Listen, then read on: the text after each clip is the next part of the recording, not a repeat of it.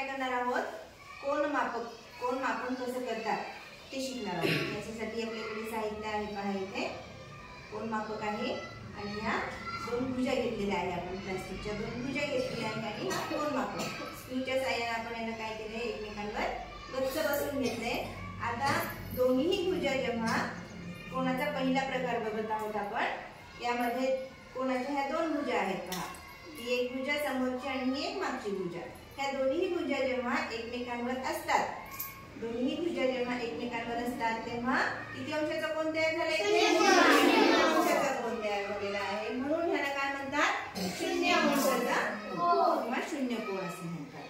त्यानंतर हा कोण शून्य अंशापासून थोडासा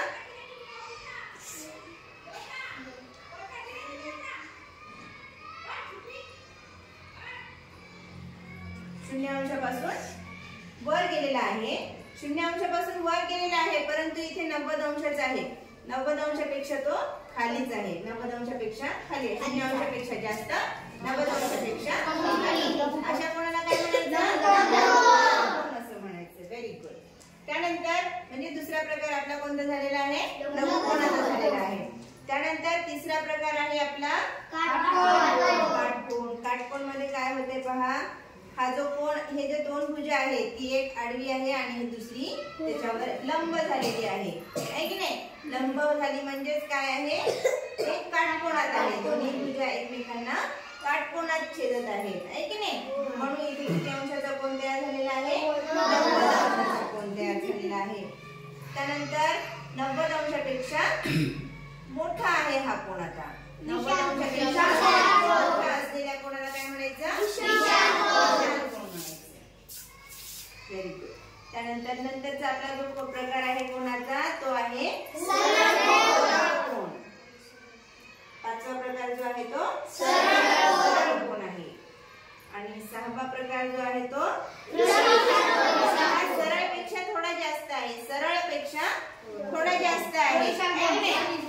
म्हणजे याला काय म्हणतात मग कोण हा एकशे दोनशे दहा दोनशे दहा अंशाचा आहे हा किती अंशाचा आहे? कारण सरळ कोणाचे माप आपण किती म्हटलेलं आहे? एकशे ऐंशी अंश म्हटलेला आहे म्हणून हा किती आहे? दोनशे दहा अंशाचा कोण याला प्रविशाल कोण म्हटलेला आहे. पहा इथून दिसते आपल्याला. ते इथून इथून वळले आणि इथपर्यंत गेले आहे की नाही? त्यानंतर शेवटचा आपला प्रकार जो आहे तो पूर्ण कोण? पूर्ण कोणामध्ये पहा?